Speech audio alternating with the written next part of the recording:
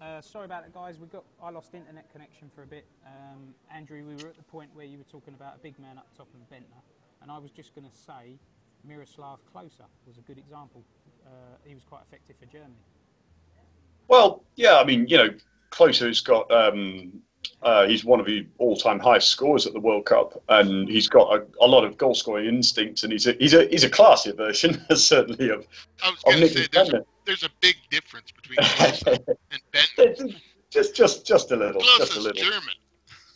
Well, that for a start, yeah. Pretty much anybody born in Germany is automatically um, higher quality than Nicklas Bendtner. But no, in, in all seriousness, though, um, the, the the big man up front option to have in your squad, I I think it's a no-brainer. I think every squad, if they have that sort of player, you've got to have one person who's capable of doing that. Even if it's not for a direct goal threat, just to relieve pressure, to physically occupy the opposition Oh, well, centre backs, whatever it is. laugh, but Peter Crouch never let England down. He, he had a he was decent Well, for.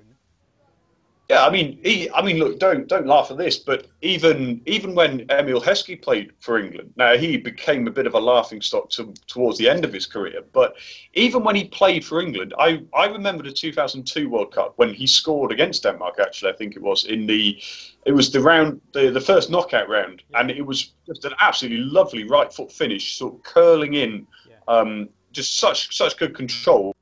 But he, for me, was a good example. He got what fifty odd caps for England, and I think he only scored around eight or nine goals. Yeah. And people might laugh at this, but you can. There is such a thing as a non out and out goal scoring centre forward. He he was a foil for Michael Owen. You know, Bendtner can be a foil for Christian Eriksen as a as a false nine, for example, or whatever position they play him. So Well, Bendtner is one player I would say. Remember Drogba when he went to Chelsea. He wasn't prolific, but he was he was causing mayhem and allowing Lampard space. You're a fan of Tore Andre Flo, Jim? Yeah. Said with enthusiasm. I, you know, I'm going to disagree with you on this point, though, Andrew. I, I don't find France compelling. Oh, Right? I, I find them underwhelming. And I'll tell you why. Because guys like Pogba, you know, who everyone talks about as being amazing, um, they underwhelm me at club football. You know, and it they just don't seem to have the fire. They don't seem to have the will. They don't seem to have the strength. And you know, um, and when I watch France play, it's like they do everything right. You know, they play perfect football and they pass the ball perfectly, and Mbappe is wonderful, and Griezmann is wonderful, and and then it falls apart. And it's like they're not going to win the World Cup that way. You win the World Cup with your balls. You know, you win it by being really fucking great and really fucking strong. You know, and teams like Germany have that, right? They have that inner strength and they have that will to win and they have that. I don't know what it is. They have that Right, X Jim, factor. Jim, They have that. that. Jim, do you remember Spain back in was it 08? I think they won their first tournament. 2010, Euros. South Africa. Yeah. Now Spain was it? Was it? Well, they won the Euros in 08 That's and right. then they won. The, Now prior yeah. to that, Spain were like the proverbial sort of quarter-finalists, semi-finalists, like, almost similar to what you're describing France now. But at some point, hasn't but a this talent- huge difference. hasn't all this talent got to come together at some point? Somewhere, somewhere, you've got to make the first uh, jump. But there's a huge difference. That 08 and that 10 um, Spain team had Xavi. And Xavi was that guy. Xavi's a killer. Yeah, he was. He Xavi's- was, he was an He's a amazing player. death. Yeah. I mean, Xavi was a death machine. So Yeah, I mean, I I, mean, Xavi, he would not allow anyone to slack. Hmm. He was pushing that game, right? so I mean, he was- France, you think France are lacking leaders, Jim? I do. I do. I mean, Griezmann is wonderful, right? He's a great player. Pogba's a great player. Mbappe's a great player. Who's the leader on that team? Right. In terms of this group, though, are we all agreed they're gonna they're gonna walk this group? I think they they probably go to the knockout round. Uh, but I think I think um, Peru goes to the knockout round. Wow. Now we don't know much about Peru. What, what could, now, the, the way I see it, if you qualify from the South American group, you're not going to be mugged. So are Peru going to be dangerously um, under underrated, sort of disrespected almost? Peru Oh. was unbelievable in CONMEBOL. Mm. They were they were lightning on a stick, man. They were like electricity. Do They they, were have any key players that stand out, or is it just the sum of all parts? Well, They're And, you know, you, you mentioned key players, Rob. There is one thing to remember about Peru is they'll they'll be without Paolo Guerrero because he's banned for I think it was drug use, wasn't it, or cocaine? I can't remember. six-month ban, and I thought he would be okay for the World Cup.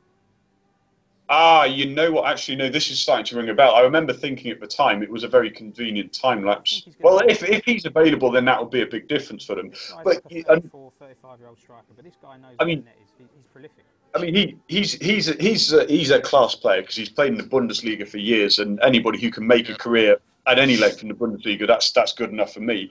But there's also I'd also mention Jefferson Farfan, who's playing in Russia at the Oh. moment. He's, he's, he's had- wonderful. I mean, you know, you know what I what has impressed me the most about Jefferson Farfan? I remember him as most European fan football fans will do from his Schalke days when he played out wide as a pacey winger. But what he's done now, he's played centrally as a striker, he's played as a winger. This is all this season, and he's even been asked to play right wing back. And his attitude has been absolutely first class. You know, he's been jetting around. Jim, you mentioned Peru being excellent in CONMEBOL qualifying, right? Well, there was one week where Farfan personally flew. He flew to Lima and then he flew to the far east of Russia to Khabarovsk, scored a last-minute winner. Then back to Moscow with the team, and then he flew. He flew somewhere else. It was something like 20, 30,000 miles in 10 days. And he's oh, wow. been he's he's about to be champion of Russia with Lokomotiv Moscow. When everybody had written him off, he'd gone to the Middle East with I think it was Al Jazira, was it? Um, but um, Jefferson Farfan another to watch out for definitely. Um, so yeah, So, so Peru certainly wants to watch out for there. for me, That's remarkable. I still think Denmark will be second purely because if Eriksen's on his game, they've got one of the best. I think one of the best players in the tournament. I think Eriksen. On Well, yeah, Christian got- Eriksen's He's a match winner. Yeah, he's he's a great player. I mean, that kid can that kid can score flat out. I mean, he can. but then having Put the ball that, in if, if 30 you shut out the yards. supply to Eriksen, I'm not sure what else Denmark have got. Um, Well, there's I tell you I tell you one player who's impressed me the last couple of years for Denmark is um is their winger. I, he was playing for Celta Vigo a couple of seasons ago. He may be he may have moved on since then. Is that Pione Sisto? oh yeah, Um, he is absolute lightning, and he caused. I think he was, I think he actually played against Lokomotiv Moscow two seasons ago. Was it Spartak perhaps? Um, and and it was the first time I'd seen him. But my word, that that man was quick. Um, so you know, I mean, in terms of creative playmakers, Rob, you made a point. Cut out the supply to Eriksen, or or you know, smother him, and a lot of problems will start for Denmark. But they do have other options like this. Um, uh, like like this Pione and I think they have another midfielder called Thomas Delaney, who's got an Irish mother and a Danish father or something. Um, he's meant to be. He's looking for a move to the English Premier League this summer, apparently. So uh, I haven't watched him play a lot myself, but I know he's been he's been playing internationally and at the well top level in Denmark at least for some time. So possibly even playing in Germany at the moment. Actually, I slightly lost track of his last club, but they've got other players. Um, neither Peru nor Denmark should be ignored. Certainly not. and no. Can we make any case for Australia? No, no, I just don't think they're active enough, right? I mean, when you look at the group stages at a World Cup, Mm. you know, I like teams that are active, Mm. good defensively, don't give up a lot of goals. You know, they can dig in when they need to, they can get a draw when they need to. And I just don't see Australia being able to do that, right? I mean, Have they got They're gonna leak- players that could uh, stand out for them? I mean, is Tim Cahill back in the fold, or is he? I don't know if Timmy's playing or not. As You know, far as I understand, as far as I understand, he still is, but this is he's retiring after the tournament. As, as, that's as far as I understand. I think the thing for Australia to remember as well is that they've they're going to have. Um, I think it's Bert van Marwijk is taking over just for the tournament because Oh, they've right, had um, yeah. Ange Post. I can't pronounce the name properly. Ange Postecoglou, um, who, to be fair to the man, has been a very inventive coach for the last four or five years in charge of Australia, um, playing some formation, something like a three-four-one-two. So really, basically, being a very adventurous coach, um, not sitting back, which is what you might expect from a, a nation of Australia's stature on a World Cup level. Um, but Right. with Bert van Marwijk, he's um, he's not a very attacking coach. So how they would adapt to that that new style, I'm not sure. But I don't really give them much hope, Right, really. To summarise this group, Yeah. I think we all agree that France are going through, that Australia won't, and it's looking Yeah. like the key game then is Peru Denmark.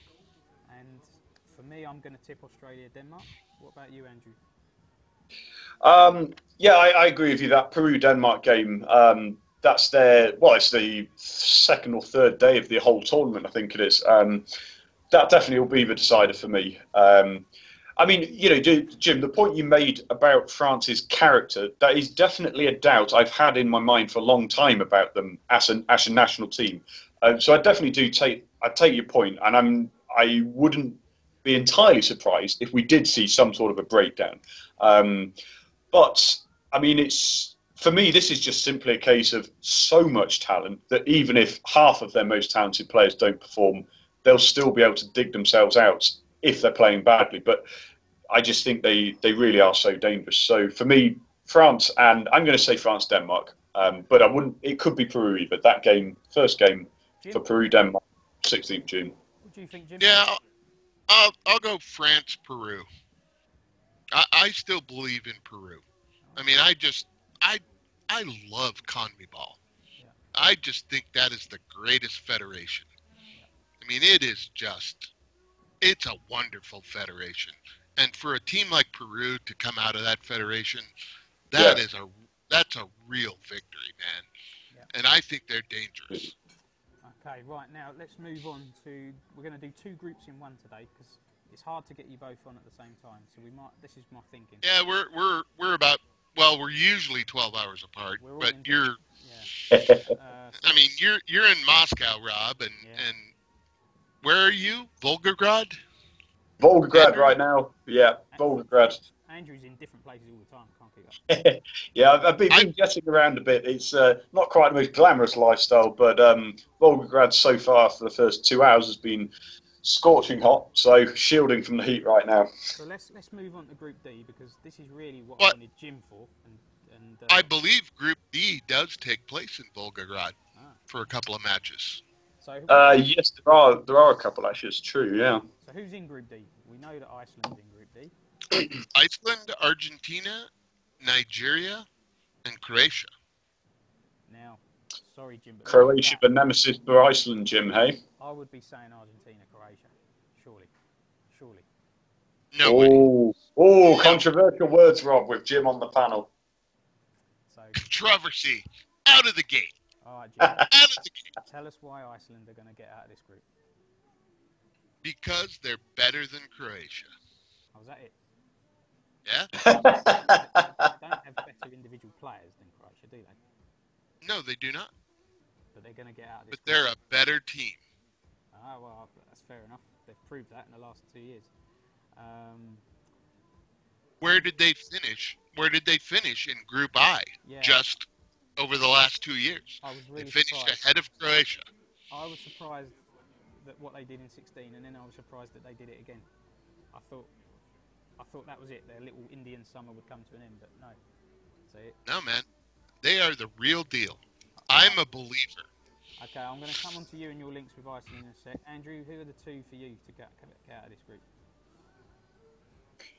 Um, well, yeah, I mean, it's, it's, I actually think it's one of the hardest groups to call this um, overall.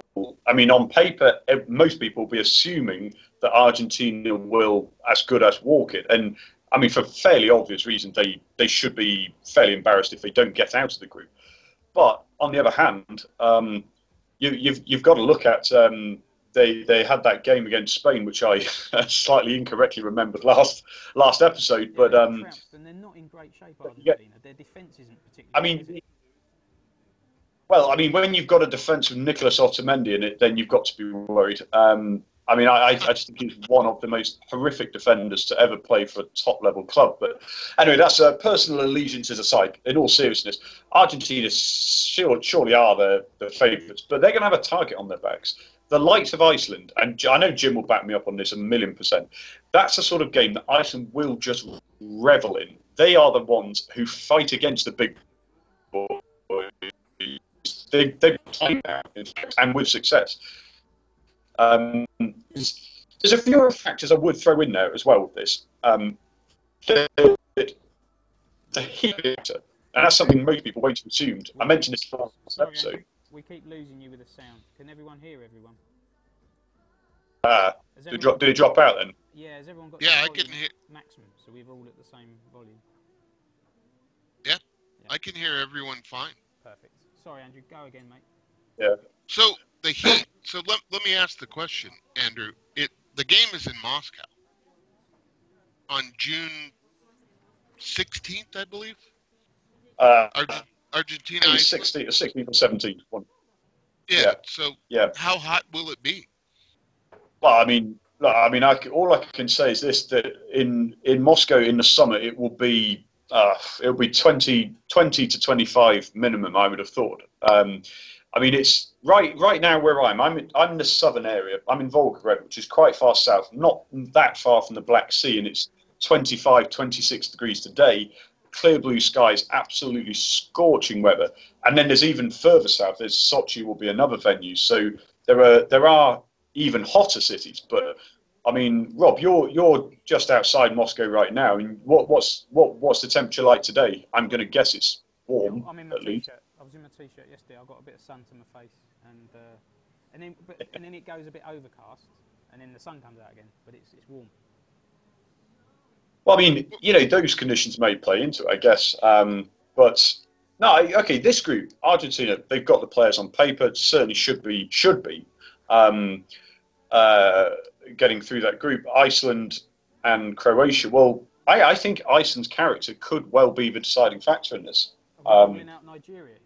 I am. Um, I mean, I, to be to be honest with you, I I don't see I don't see them having the the class. I mean, the the African Confederation is is a really strange one for me because I've started to pay a bit more attention to African qualifying, and you know, you've got you've got some absolutely world class players without any exaggeration, and then a huge drop off to in quality to you know the, the the lower half of the rest of their teammates, if that makes sense. Um, so you get imbalanced sides like Egypt is an obvious example, Mo Salah, and then um, then you've got a West Brom defender in the same team as Mohamed Salah. But you know even they very very very nearly didn't qualify themselves. So Nigeria, it's a different I- step up. Yeah, I just don't know who scores the goals for for Nigeria. I mean, they're going to be Um, very good defensively, but I don't know who scores the goals for them. Right? So they're going to sit back and frustrate. That's going to be their tactics. Yeah, they'll be very organized, I believe, but will they score goals? What do you think, Andrew? But uh, Jim, you say organised. That's one thing that's not been uh, a strength of African nations in the past. That's been- No, no, it, it has been a, it has been a strength of Nigeria though. Yeah. The Eagles have always been very organized, right? I They, mean, look um, at John, John Obi Mikel, you know, is just a, a wonderful player, and he's been great for the Eagles four- for years. The former Manchester United midfielder, you mean? The wonderful Chelsea striker. Jim, I saw, I saw him play live at Spurs, and uh, Robbie Keane put him on his ass quite a few times. Is this the player you were talking about? A wonderful player. He was your weak link, mate. He's the uh, the Nigerian Messi. The Nigerian. oh my word, Messi has fallen a long way. He's a Messi Nigerian. I'm not sure he's a Nigerian Messi. Um, well, okay, yeah, okay. Of- If if you, if I really have to be favourable to Nigeria, then and, and say who I think their danger men would be, you say who would score the goals, Jim. Um, I think Ahmed Musa will be probably their main outlet for goals. And I know a lot of English fans or English Premier League fans will be a little bit surprised because he never really was given much of a chance, to be honest, at Leicester. But he and he's another player who's played a lot in Russia and he's on loan back at CSK Moscow at the moment. He is lightning quick and and I mean seriously quick. He will be. I don't know his exact top speed, but if you get the statistics out, he'll be one of the quickest players in the tournament. Um, and he doesn't quite have he doesn't quite have a, a cool head for one-on-one finishes, but he sets up a lot of chances. So um, he will definitely be one to watch. Um, as Victor Moses as well. Um, Yeah, Victor You know, Moses he's- plays well. he, he's got a, he's he's matured quite a lot since since Conte asked him to be a wing back from what two years ago, three years ago. So he's got more of a game intelligence than uh, you know a lot of players will have. So again, it's like we're looking at Nigeria as a weak link, and they still have these options. I'm not saying it's a world beating team, but they still have Yeah, potential I think, I think, this is, a very. I think this is the toughest group, the, the toughest group in, in the whole. Uh, Oh, absolutely. Yeah, this is the group of death, if you want to call it that. I don't see anyone getting pounded, and, and Argentina worry me when they get to the later stages. I, I think Argentina could get ripped apart by certain teams. Um, Yeah, I don't see Argentina making the semis. No, and to be honest with you, I, I, I love Messi. I'd love to see Argentina do something, but I don't see it. I Um, don't see it either. Uh, I mean, I see, I see France, maybe Belgium, um, certainly Germany, yeah, but Germany. you know, you know, Spain is my pick to win it this year. we all have to be different, and a lot of people try to be, but it's hard to see past Germany, isn't it? But I, s- I think Brazil look really good shape. Brazil, they could be in the semis. They're, I mean, they're going to be a lot stronger than four years ago. I, Jim, I notice I noticed you've mentioned about eight or nine possible winners, and you, you didn't mention England. are they in it? Are they in it? did, they, did England? Oh, Unfortunately, yes. Unbelievable. Oh. Anyway, that's another show. Um, guys, I've, I- I lived in. I didn't know if the U.S. or, or England. I, I thought maybe the U.S. and England were in the same. I want to group. talk about Croatia. Now, I was in Serbia, their neighbours, um, and I saw a game in, in Croatia, and I've, I've grew up and always known Croatia to be excellent technicians. They're a good team to watch. They're good on the ball. Um, Wonderful midfield. they kind of- Wonderful They're a funny team. that, Again, one of these teams that sort of presses the self-destruct button as the tournament progresses. Um, I mean, they've made Yeah. quarterfinals and semi-finals in their time. They've had some wonderfully gifted players over the years. I've got to be honest, I, I don't know a lot about their current team, but I just assume that Croatia will turn up and will be a typical Croatian team, good on the ball, easy on the eye. I think they have bad coaching, if you ask me. I think Well, they I have mean- bad coaching, and I think they have wonderful midfield players, and I think the rest of their team is garbage. I mean, they, to be fair, they do they do have a wonderfully talented, like you say, centre of the centre of the park. I mean, um, Well, they're one of the best midfielders in the world. well, um, Absolutely. yeah. I mean, Mateo Kovacic is, is fantastic, like you say, Rob. Um, I, don't- I don't know. Who, I don't know who. You, yeah, I know that's who you're referring to. Um, and uh, Uh, yeah, some some Andrew, I, know, I don't know if you've been following, but Luka Modric has been has been in court, and there's a there's a serious case going on in Croatia with him.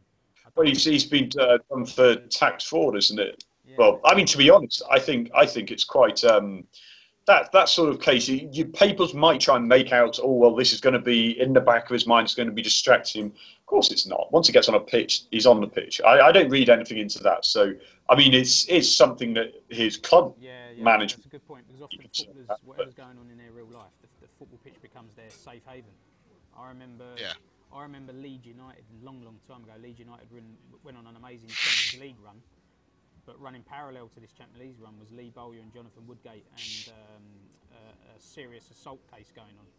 Um, but it, it, inevi- that, they were under all this pressure, but it seemed to they seemed to play better when they were on the pitch. Um, I think it was back in the late 90s uh, or early 2000s. It's about two, uh, it's 2001, I think, 2002, Leeds, something like Leeds that. were close to getting to that final. They were they were a really unbelievable team that year. That was mad. Leeds United in a Champions League semi-final. it was Um, they were, mad. we digress. Now, um, Jim, t- coming in, tell us all about Iceland. Tell us about your connections to Iceland, your affinity with Iceland, and how they are going to upset the odds again.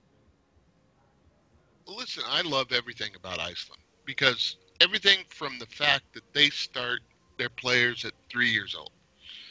And, you know, when I talk to Arnar Bill and he tells me, you know, when they're three years old, they teach them how to line up, you know, and then they work from there. And it's all part of the culture. And it's, you know, it's integrated into the the everyday life of Icelanders. It's not separate, it's not, you know, special. It's available to every kid in Iceland. You know, you want to be a football player? Do you suck? It doesn't matter. We need all the kids to play. They they don't separate the good kids from the bad kids, you know? They just they get everyone to play. Right. So they, And- develop, they develop a really good sort of family uh, spirit from a very early. Absolutely. Absolutely. And it's, you know, so everyone's involved. Now, obviously, when the kids get older and the good kids go off and play for the, you know, the club teams or whatever, you know, they they don't play for, you know, clubs that are special or anything. They play for their neighborhood, right? So it's not until you become a professional that you're not playing for your neighborhood. So even when you're like U17, U16, whatever, you're playing for your neighborhood team. You know, so you're mm-hmm. not traveling. You're not, you know, going out somewhere to travel three or four hours to to get an A licensed coach, right? You've got an A licensed coach in your neighborhood who's teaching you how to play football. And that's the way they treat every kid, whether you're good, bad, or indifferent. And that's the Iceland spirit, right? That's the way they treat their kids. And so, you know, they bring them all up that way. Jim, And it's just wonderful. Iceland as a country is what 330,000, something like that. It's a tiny, tiny. Yeah, country. roughly. Is yeah, that, yeah, it's a tiny used that disadvantage in terms of lack of resources, lack of pool of talent. Is that used to an advantage? It absolutely is used to an advantage because it's easy to, right? It's easy to do an experiment on a small number of, of people. It's easier to do that than it is on, you know, 60 million or 80 million or whatever, right? Or 300 million here in the U.S., right? I mean, you can control the experiment there uh, in Iceland. So, you know, but so they only have X number of coaches that they need to get licensed, right? Mm. And so they get them all A or B UEFA licenses. Mm. And so they're all licensed, right? They all know what they're doing. So you never- I'm from a reasonably small town in England called Colchester, which is about 250,000 population, and then you've got surrounding villages and areas. So basically, Iceland is the same size as Colchester and the surrounding villages within a 10 mile radius. Yeah. And, Yeah. yet, and Iceland are taking on nations like England and, and beating them, and other nations as well. Iceland have beaten so many big countries in the last few years. To put it in context, it's, it's unbelievable. What they're doing is thi- unbelievable. I don't think so. I mean, it- it only takes 20 people, right? 20, 25 players with the right motivation to go out and make this happen. You don't have to have a thousand people, you know, or a hundred thousand people. You gotta have 20 people with the right training, the right motivation, the right, the right attitude, and everything. So that's their attitude. They're like, yeah, we're small. Yeah, we're in the middle of nowhere. But we only have to come up with 20, 25 players with the right motivation, the right training, the right attitude, Yeah. and we can make this happen. We go back to 2016. I remember when Iceland were playing, and uh, their connection with them and the fans when they were doing the, the salute. I forget what it's called at the end of the game. Uh, the Thund- thunderclap. Thunderclap. Yeah, when I was watching that, I was watching the Icelandic supporters. Pretty much all of Iceland was there to support them, and uh, Yeah. and the players. There was a real connection, like they were all one. They were all on. They were all united, and I have never, I've not seen that say with England or certain other countries. I've never seen that with England, not for a long, in fact, never in my lifetime, not not to that level, and that's a very powerful tool. Well, yeah, you know, you have to understand Icelandic culture a little bit too, right? I mean, they've been living on this island, mm. um, isolated, mm. right, for a very long time. Mm. So they've become very, their culture is very interdependent on each other. So um, the people of Iceland are very uh, warm towards each other and they have a very close community. And so there's no such thing as individualism, right? I mean, you could almost call it um, enhanced socialism or something, right? Because, you know, they all feel like they are part of the bigger community. So everyone is in it with everyone else. So why do England keep going wrong, and what could we learn from Iceland? What could we take from some of these smaller countries? Why is it countries like Greece in 04 with an inferior team prevail? Denmark, uh, 1992. You, in the last Yeah. 25, 30 years, there's examples of teams with nowhere near the ability of, say, England. You know, you look at England in 2006 and the talent they had, probably the best midfield in the world at that point. Why do England? Sure. Why do England consistently underperform? And, you, and there are examples of much smaller nations doing far better things. I think a, a part of it is individualism, right? You know, people don't pull together and sacrifice. I mean, if you think about it, right? Look at Iceland. Um, Gylfi Sigurdsson is without a doubt the greatest Icelandic player of all time.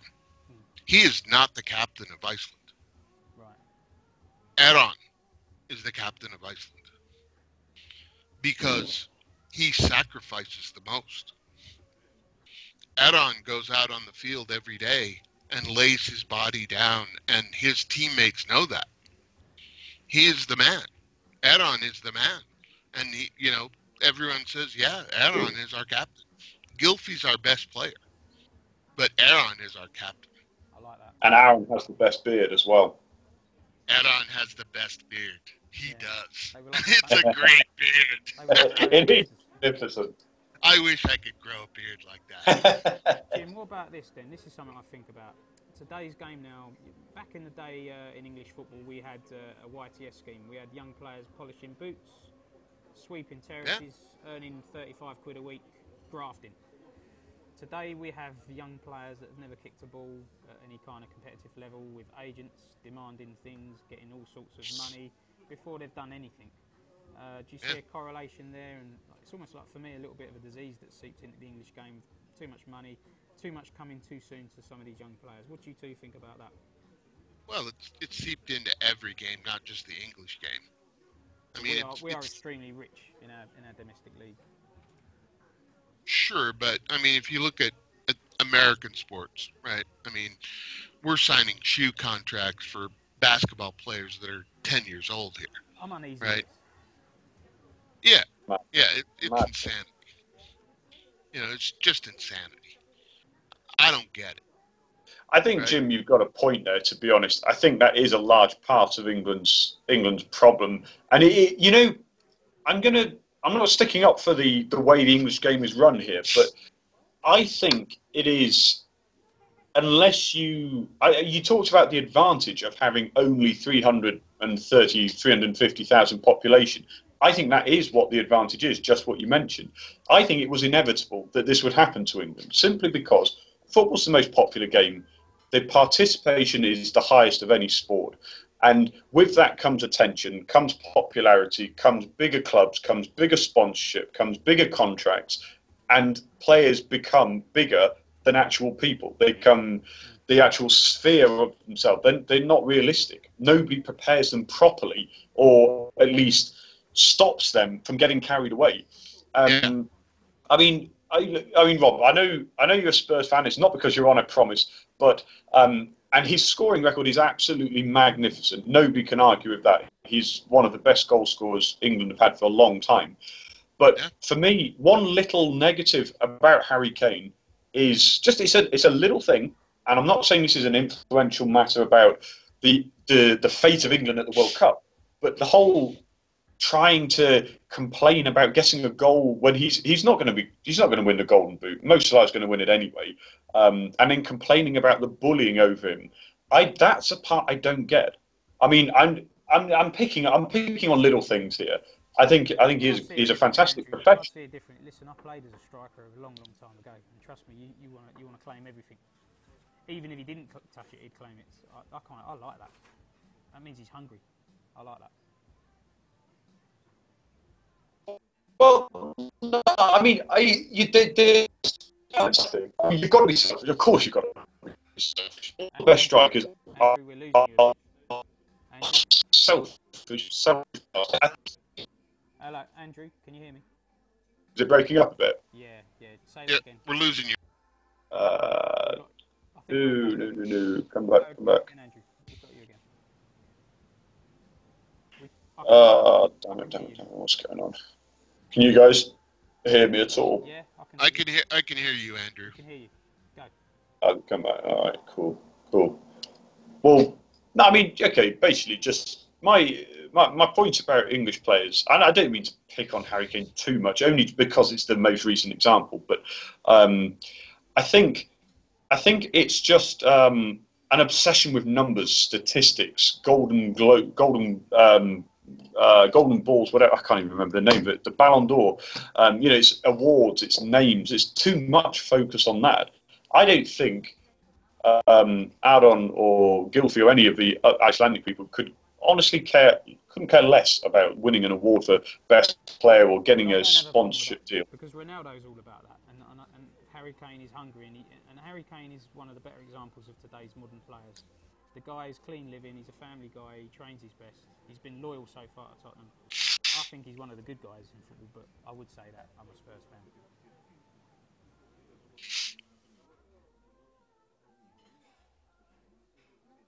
I've lost you again. Jim, can you hear me? Oh, yeah, I can now. We're Yeah. having problems with Andrew. Jim, do you want to say something about that? You know, I'll just say that, you know, I, I believe it's a cultural thing, Mm. right?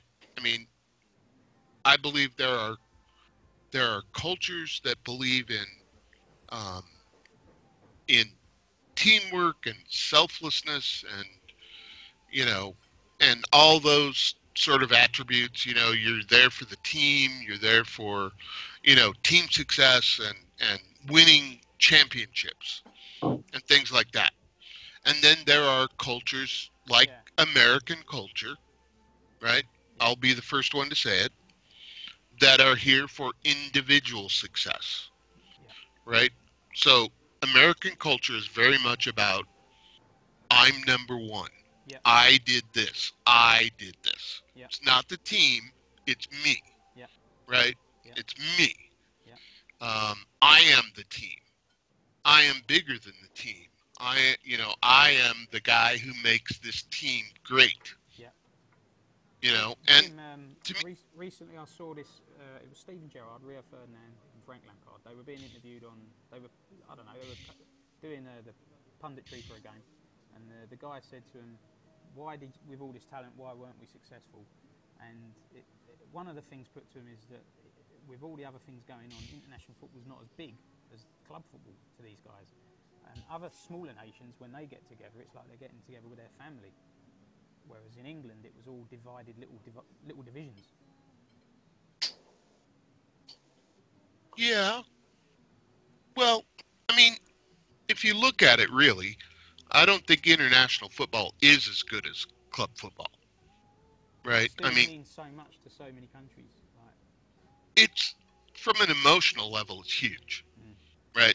For the fans, for for us, you know, the World Cup is the big thing. yeah, Right? I mean, the World Cup is everything to me. yeah, yeah, I love the World Cup. Yeah. It's just fucking great. yeah. You know, I mean, I every four years I get my Panini I, book. I love the World Cup still. I just hope it's not losing its its magic. But um, That's why I don't want it to expand. exactly, do I'm not- The same. I'm the same. Yeah. I agree on that. Are you because you're going No. to you're going to dilute it. Yeah, exactly. You know, I do not want a 48 team World Cup. I didn't want a 32 team World Cup. But they went to 32 and I accepted it. Yeah. But you know, I still do the panini stickers, man. I went over to Walgreens the other day and got my book, and Yeah, that's part. You of know. it. Yeah, we're all the same. I think I think many guys our age and older can resonate with that. Nice one. there you go, Andrew. No, I've got mine. I read I've got. something- I, I bought it under the under the pretense of doing it with my young daughters because they like sticker Oh, yeah. books and everything. It's, it's not for them. It's not for them. It's for me. Yeah. I read You know- somewhere that it, it's now going to cost somewhere between six and seven hundred pounds to complete the album. No, Well, yeah, I, I saw I saw that article. I, I actually wrote a column for a, a a news site that I started writing for, complaining about this. How, you know, Panini it does mean something to people like us who have collected it from twenty, maybe even twenty five. I I've still got They're the taking 92, 93. Huh? I think they're taking advantage. They've raised the prices. But go on. Can, can Well, I mean, you know, we I've got the 92, 93 Premier League album completed, and that probably is actually worth quite a lot. Yeah. Um, but they are taking advantage now. But I don't know. I've been sucked in. I don't care. I'm doing it anyway. yeah. I've well- got my '78 Panini book around here somewhere. So Jim, that was your first Oh, World Cup, wow. '78. Yeah, that was my first World Mine Cup. was Yeah. '86. So, um, Okay. and it was a very emotional World Cup as a little boy, seeing Maradona, this genius, do Yeah. stuff, but then basically cheat as well. It was it was a hard one to take. Oh, Maradona was my man. And then Is that- I love Napoli, so I like Napoli. And then four years later, for me, that was heartbreaking. England should have won that World Cup in 1990. '90. Yeah. Oh, yeah, that was a heartbreaker For for me, England. England, made me proud that year. That was a great squad. Uh, and I think Germany. You guys had a real chance. We had it was West Germany at the time, but we had them on the ropes. Uh, I think we hit the post. We Gazza went close. Waddle hit the post. Yep. We were desperately unlucky, um, and their goal was quite fortuitous. And then, Yeah, I watched. And then Euro Go ahead. '96. Euro '96 was probably the last time I felt generally. Uh, 1990 and '96, we, we were so close. But those days seem like a long, long time ago. The, the '78 World Cup was only available in Spanish language here in Denver. Yeah. So I, I watched I watched uh, every night.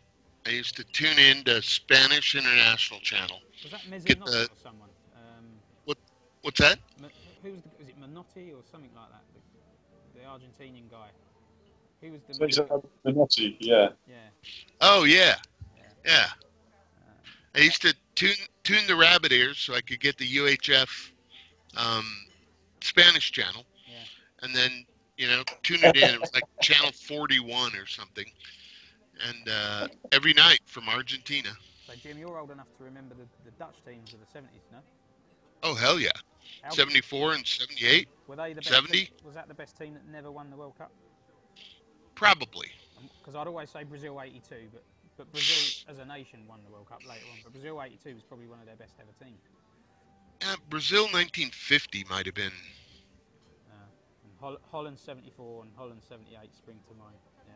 Oh yeah, absolutely. I mean, I mean Holland has got to be the unluckiest World Cup team of all time. Yeah. Again. I mean, they've nation, just been six, seven million people, small country. yeah, but a great footballing country. Yeah. Yeah. Some great footballers have come out of there. Even some that played for Manchester United. Yeah. Yeah. All right, lads. I'm going to wrap this up. We've covered Groups C and D. I hope this comes out well. Otherwise, I'm going to cry. 'cause it's gonna be- sometimes, Jim, it, it comes out, and it, I didn't bother to test it because we were, it was, a, we just got on with it. But sometimes the speed gets uh, speeded up like chipmunks. So I hope it doesn't. I hope this all comes out well. Um, and hopefully get you two on for Group E soon if you want. Maybe in a couple of weeks. Yeah. Sure. Yeah, sounds good. Sounds good. Yeah, and Jim, feel free to get any of your footballing world connections on. Yeah, You sure. know- I mean, I can ask ask who's who around. your- I imagine in your phone you've got a who's who of football football guys. My iPhone Yeah. X, Now, the you, 10. Jim, you were telling Very me nice. last night you were having drinks with Alan Hinton. No, no, no. I was chatting with him Oh, you on. were chatting with him. And um, Yeah. anyone who doesn't, because I'm I'm a bit of a football stat, so even though this is before my time, he was a great player for Derby County back in the day in the 70s. Yes, he was. Uh, Alan Hinton, Alan Hinton, and I were having a chat on Twitter last night, Yeah. Because he was moaning about the fact that there were no real wingers in the game anymore. Or Point. And I was- wing backs. He said, or wingers. Um, well, I'll tell you. I mean, I'm looking at it right now, but he basically said wingers. Well, he's, well, what about Man City? They got they got wingers galore. Well, that was my point. I I shot back at him and said, "What about Leroy Sané?" I would say I actually I actually agree with him on that point because I'd make the distinction between wide forward and winger. I mean, winger for me means Kanchelskis Giggs. Those are the best two wingers I've ever seen in my Sure, my lifetime. sure. I mean, just Waddle. just get the ball. Chris Well, I mean, Waddle was Waddle, great. a, a magical player, but I'm, I'm talking out and out winger, and I mean not playmaker, not not centre midfielder. I'm talking out and out pace and skill. Beat your man, get the crossing done. No, Ryan, you're Ah. right. No, you are right, Andrew. They're both. But Chris Waddle in his day he was a winger, and he was he was an amazing player. Oh, I loved Chris Waddle. Chris He, Waddle he played. For, he only he only played for some village team down south. Who I, I, I don't really you know pay attention to. So softy southerner sides, you don't need to pay attention to them. So you know proper football up north. Yeah, I can't say anything because we lost here recently. I don't know any. Are there teams in the north of England? I thought it was all wogs Well, and shit up there. The, the the south of England doesn't really exist. It's it's another country. It's just you need a passport to go down that end. Um, but uh, the I thought um, there were only teams in London. well, I mean, there's a, a different sport they call, you know, footy. Yeah, sure thing. Um, Andrew, you, Uh, you, you don't sound like a typical Mancunian, but you were raised in Manchester. Is this right? Yeah, just say Altrincham, South uh, South South Manchester. Hon- Honestly, you could Um, go on BBC and read the news tonight. No, Not you're sure not they- quite. Yeah, you're not, I'm not not- quite the Beeb. I, I'm not. I'm not sure they would appreciate the beard enough. If it was Icelandic TV, then they might ask me, and then I'd say yes. Yeah, but, yeah. But you sound you seem more southern than, than uh, definitely southern than northern. Um, so I like to think Oh. neutral rather than. That- Isn't that fighting words, Andrew? So again, Isn't that fighting words? He called you Southern. yeah, he's Andrew's a but, southerner. yeah, but you see, I, I can't. I can't really understand his, his softy southern accent. So Jim, Jim, have you ever met a, a Manchester United fan from the north of England? Besides Andrew, yeah. a few. Man United fans, No. w- they're all from London and Torquay. Well, I oh, yeah, excellent point, by the way. Yeah. But no, not really. I mean, all the Manchester United fans I know, they're all from like Singapore Is that- well, oh, and Man- India. anyone from Manchester supports Man City. That's what I thought. That's what I was told. biggest myth of all time. That's, that's the real club in Manchester, eh? no? The only person Yeah. I know Yeah. that supports a Manchester team Yeah. that's from Manchester Yeah. is Andrew. So I mean, in, But you know some Liverpool fans from the states, Jim. yeah, well, I do indeed. I do know. I know too many Liverpool fans. I, they're everywhere, aren't they? You just can't. Get, they're, they're like, like cockroaches. You, they're always never more than five meters away from one. Yeah. The fucking scows, the scows are fucking everywhere, man. Jim, you I mean, watch- like- oh, Jim, you also got an affinity with Roma, haven't you? You like Roma. I like Napoli. I love the city of Rome. So Rome, Liverpool. Who are you going for with that? We're going Well, wide I'm go- subject here, but I might as well get your. Oh, I'm totally going for Roma. I mean, I'm a fuck bit- the scows. I'm a bit worried about Liverpool because there's a problem with the manager and the assistant. S- Uh, Mane's not match fit, I, I believe. I think I think Roma are still in this. I hope so. It was that that second goal. I think just that gave them a, a glimmer. If they'd only got the one, I would have said, "Sure, they're pretty." Because I was what I was watching with Johnny, and he was um, well going predictably mental as each uh, each goal went in, and I thought this is this is going to be a carnage. But those those two goals is Changed the language. just enough to give Roma a sniff. I think. Yeah. I, I think. So- I think What's the score? What's the score in the series right now? Why do you want Liverpool to win? why? Because, You're a fucking Spurs fan. because I like well, he's a Spurs fan. He doesn't know what's going on in here, does he? You know. After Tottenham, I will cheer for Liverpool in uh, in Europe. I'd like to see Liverpool win it, and I believe Jurgen Klopp and the way he plays is refreshing for football, and I think they deserve it. Rob, I'm disappointed, man. No, I absolutely detest Real Madrid. And Spurs fans are, are experts in disappointment, Jim. It's You should know this Wow. by now. What's the alternative? I, I cheer for Real Madrid. No, Yeah, you Real Madrid- cheer for Bayern. You can cheer for Roma. You Why would I cheer for Bayern and, and Real Madrid? They bore me to tears. If, if No, I get- didn't. If Roma Did I say final- Real Madrid? You did not hear me say Real Madrid. If you follow my Twitter feed Yeah. at all, Yeah. you would have seen me. You would have seen me tweet Yeah. that I would prefer Liverpool, Roma, or Bayern, followed by the stadium burning down, then the trophy getting stolen, Yeah. exactly. followed by any any number of you know natural disasters Yeah, before I you there, want Real Madrid to win. I, I hate Real Madrid. I hate everything about them and what they stand for. Um, I don't like them at all. Going back to their, you know, they're a royalty. They're, they're, they're Ugh, God, them. yeah. I hate them. Um, Bayern Munich. They're Frank, they're Franco's team, dude. Bayern Munich have sort of ruined the German league because they just dominate it. Um, it's not their fault, but they bore me. And uh, so yeah, you've got a choice of Liverpool, Roma. If whoever wins out of that, I'll cheer for them in the final. But I'd rather Liverpool than Roma won it. Well, I mean, I like Thomas Muller. I really like Thomas Muller. I think he's a wonderful player. And I'd pay to watch him So all you- day you- long. So you're cheering for Bayern Munich, are you? Um, I would over over Liverpool, yeah. Interesting. Right, gentlemen, Yeah. we have gone way off subject.